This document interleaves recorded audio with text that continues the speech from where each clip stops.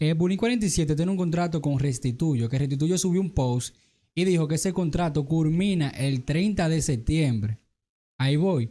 Yo escuché de una persona que dijo que él lo amarró, que ese contrato no termina. Restituyo subió un contrato donde dice que termina el 30 de septiembre. Él lo subió como para quemar la vaina, tú sabes. Pero, pero, según lo que yo escuché de una persona que es 100% confiable, ¿verdad? Que se puede creer, por ahora no ha fallado en todo lo que ha dicho. Que ese contrato de que no culmina el 30 de septiembre, que eso es mentira, que eso es plagio. El contrato, los contratos culminan, tienen punto de eh, que en un tiempo ya tiene que terminar eh, ese contrato. Eh, pero lo que tú me estás queriendo decir a mí que realmente no es ahora en septiembre. No que es ahora que termine ese contrato.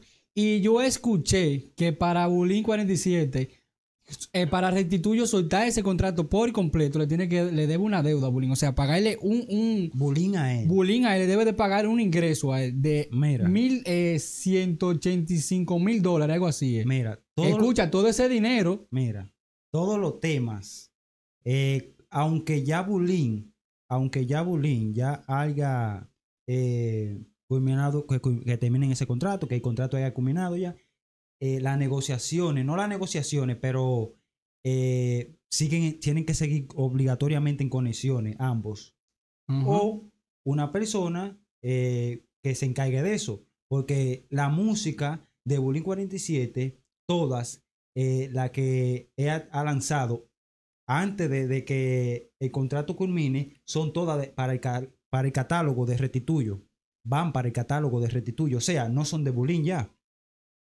Yo ma- mira- me- supongo, eh, Bullying tiene su por ciento, por lo cual siempre habrá esa conexión ya de por vida. ¿Tú entiendes? Mira, yo escuché que supuestamente Vulcano Music, Restituyo, conocido como Restituyo, él, eh, la música, él la traslada de un canal a otro. La música, como yo dije, de Bajo Mundo, que que la persona que vi, están viendo este contenido, que vieron el Sí. anterior, yo dije que Bullying 47, de la música Bajo Mundo, no ha recibido ni un peso, ni un centavo.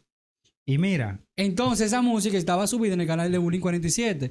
Y hace varios días la busqué, ba- bajo mundo, la música Bullying 47, y me apareció en el canal de Vulcano Music. Entonces yo busqué, yo dije, pero ¿cómo esto está sucediendo? Y pasa algo con eso.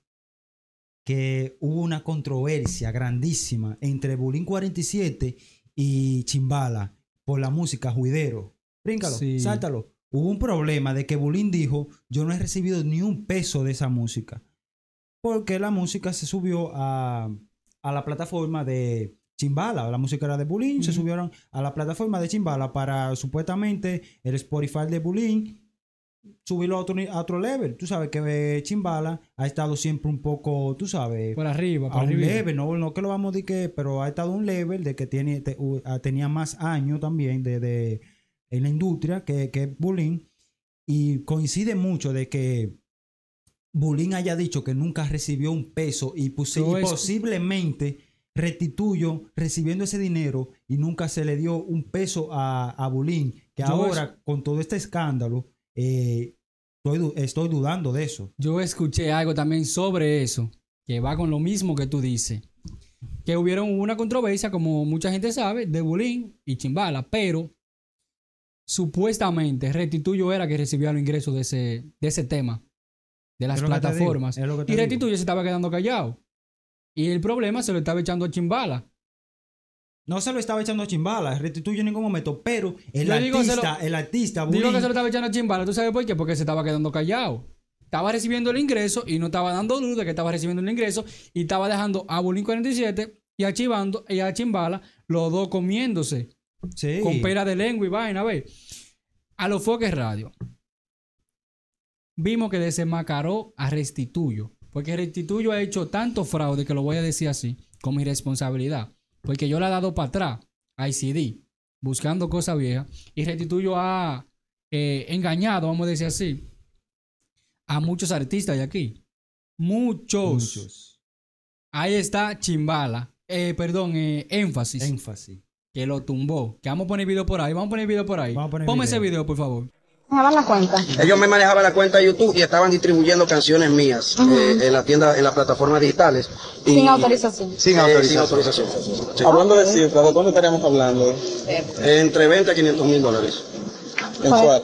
Eh, no, entre, en total, entre 20 a 500 mil dólares. ¿Hace qué tiempo sucedió eso? Desde el 2015 es que viene el fraude, porque el detalle está en que desde el 2015 ellos me reportaban una cantidad que no era, entonces se, se, se, se verificó que la cantidad que ellos reportaban no era la cantidad que debieron de reportar. Si no era mayor. O sea, eh, ellos, eh, si, si yo tenía que cobrar de un 100% un 80, yo cobraba un 20 y ellos cobraban el 80.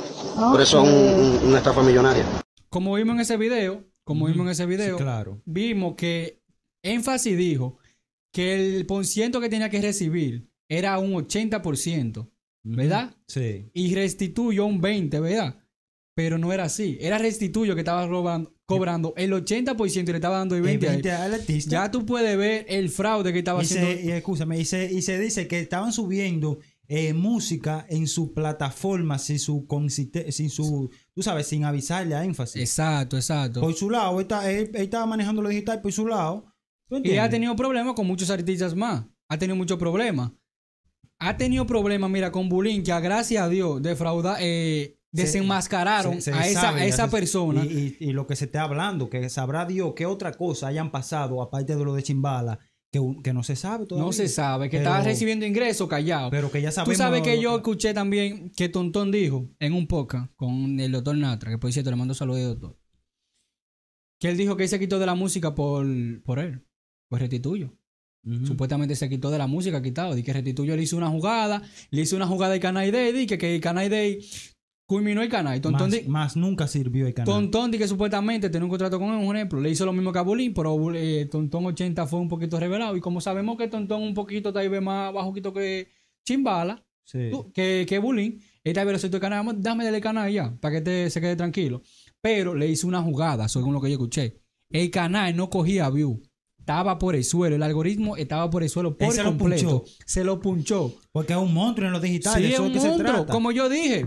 Que ca- él, él traslada una música de un canal a otro. ¿Cómo se hace eso, hermano? Pero tuvo otro. Nada es posible, pero Pero aparte de ese problema, hubo un problema con otro artista. con Toxic Crow. Toxic Crow, la máquina de cotorra. La máquina de tu cotorra, Toxic Crow. Que anda un video por ahí. Sí, que ese video es viejo. Sí. Que es donde. Ponme video, por favor. Ponme ese video, por favor. ahí. ahí. Deja de hablar mierda, restituyo, que tú no eres dueño de Capel 2, manito, para tú decidir y que quiénes son los que van a salir ahí, manito. Que no fuiste tú que sudaste los granos haciendo Capel 2, loco. Somos nosotros que debemos saber quiénes van a salir en Capel 2. Deja de opinar, loco, con vainas que no te corresponden a ti. Punto y coma. Como vimos en ese video, vimos que Restituyo quería mandar en el, en el capé al Dow. Donde no fuiste tú que lo creaste. Donde no fue. No fuiste tú que Por te eso- esforzaste por eso. Exacto, por eso digo yo que el problema con Alofoque viene de- desde esos tiempos atrás, porque era Alofoque, es Alofoque que controla el capé al Dow. Es una base de No capé que, al Dow. no que lo controla, pero, Exacto, pero es una base, que- es una base hay. de capé Sí, al Dow. Una base. Entonces veamos que esos problemas de Alofoque y Restituyo vienen de- desde viene ese desde tiempo atrás, atrás. viene desde atrás. Que escuché algo que va muy eh, lejano lo de, que de música y todo. Un problema en un carro o algo así. Exacto. Pero si tú supieras, si la gente supiera, Tú te sabes esa historia de. me la sé completa esa historia. de eso. Alofoque llega en un Lamborghini, Lamborghini. Sí. Y Restituyo llega, yo creo que fue con un McLaren, no sé si un McLaren, no. Es otro, Un. Porsche, Un Porsche. un Porsche, que estaba dije, por el debajo del Lamborghini. Pero él llegó supuestamente y dijo, dije, quítame ese carro de ahí, ahí vale parking, le dijo. Y ahí vale parking se lo movió. Mira, a lo que puede dar en, en un Corolla, que en un Corolla, en un motor En un 70. sonata, y escúchame lo que tienen su sonata. Exacto, en un Sonata, por Y delante de los y- dicen, y dicen, eh, muevan esa sonata. No, ese, ese es un sonata, pero ese es sonata Ese, de ese, foques. Sonata de Alofoque. ¿Qué es esa? ¿Y esa un, jugada? un sonata, pero y sonata es de. Alofoque. Y mira la, O sea, que, que lo que vale la persona, es el la dueño persona, de, de- de vehículo. Y le mandaron a moverse Lamborghini a los foques radio. Pero a que restituye, restituye un freco, bro. Sí, y el Vale Parking fue más fresco. ¿Tú crees que el Vale Parking eh, restituyó le soltó algo al Vale Parking? No sabemos, pero digo que sí. Mira, y eh, o sea, ese paréntesis que hicimos ahí, pero vamos a hablar también, vamos a hablar bien, profundizar sobre lo de KPI y Dow. Eh, ¿Qué tú crees que, sea, que hay- haya sido lo que Restituyo haya querido hacer con ¿Qué, ¿Qué ella quería hacer? El controlar el KPI 2. Que le soltaran el KPI 2 a él para que Para lo- maneja- para, para manejarlo, distribuirlo, di- distribuirlo. a toda la plataforma y hacer lo mismo que está haciendo robar, vamos a decir así. Y lo digo con mi responsabilidad, eh, con la mía, esa es la mía, no es la tuya. ahora te digo algo. Eh, Retituyo. Escucha esto. Dime. Restituyo ha sido, yo a título personal lo digo, pienso y analicé de que Restituyo ha sido la persona que ha, que ha hecho que no haya una colaboración entre Lápiz Consciente y Roche, Roche RD. RD, ¿Por qué? Y tú me dices, ¿por qué? Te voy a hacer la pregunta, espérate, para que vaya bien. ¿Por qué? ¿Por qué? Dime por qué. Entonces yo te voy a decir, ¿por qué? Dime por qué, para que la gente entienda también. Consciente eh, estuvo con Restituyo. eh, y al parecer no se hicieron buenos negocios. Al parecer Restituyo hizo de la de. Sí. Lápiz, un tipo inteligente. Lápiz, un tipo inteligente. Vimos que se le alejó. No vimos de que Controversia. de que juntos. No, no, no. Lápiz se le alejó. No vemos cercanía entre ellos dos. ¿O tú la has visto? No. Entonces, después, luego sale una entrevista de Lápiz Consciente Con Brea Fran. con Brea Fran, lo cual Lápiz Consciente le preguntan que por qué no ha grabado con Roche RD. ¿Sabe qué dijo Lápiz Consciente? ¿Qué dijo Lo Lápiz? que pasa que yo no quiero, eh, Roche RD tiene un reguero de gente a su alrededor que yo- ellos no se van a lucrar con lo mío, Exacto, con, mi esfuerzo, Exacto. haciendo cosas a, a Restituyo. En, en mi mente yo dije, eso fue para Restituyo. Restituyo es que le maneja A lo y lo digital. digital. Él dice, ¿tú sabes qué dijo él? Eh, eh, manejando di que lo digital, de que, que ellos son los que más saben, lo, lo que más punchan, tú sabes. Eso fue para Restituyo. 100%, 100% para. Restituyo. Fue directo. Sobre el porque el que le maneja lo, lo, lo, Lo eh, digital. lo digital a Rochi es restituyo y al alfa.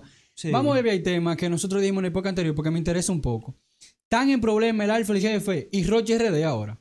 Con restituyo. Porque tienen contrato con él, me imagino. Porque tienen contrato con él, me imagino. Eh, pero Son los que pero le mira, los pero mira qué digitales. pasa, mira qué pasa. Dime, dámelo. Lápiz, el alfa, escúchame, el alfa, yo entiendo de que ella ha demostrado que es un tipo muy inteligente. Muy inteligente. Muy inteligente, lo ha demostrado que es un psicópata haciendo En los negociaciones. digitales, sí. negociaciones. Restituyo que se encarga de, de, de lo digital de, de Rochi, que por eso es que ha pasado más que, que, que los artistas quieren irse para donde Restituyo, porque ven ese avance de, de- del alfa, ven ese avance de Rochi, dirán, ellos piensan que es Restituyo que, Que lo tiene, pega. que lo tiene elevado, Restituyo no pega. Restituyo no pega Eh, artista. Restituyo lo que distribuye. Co- que conte.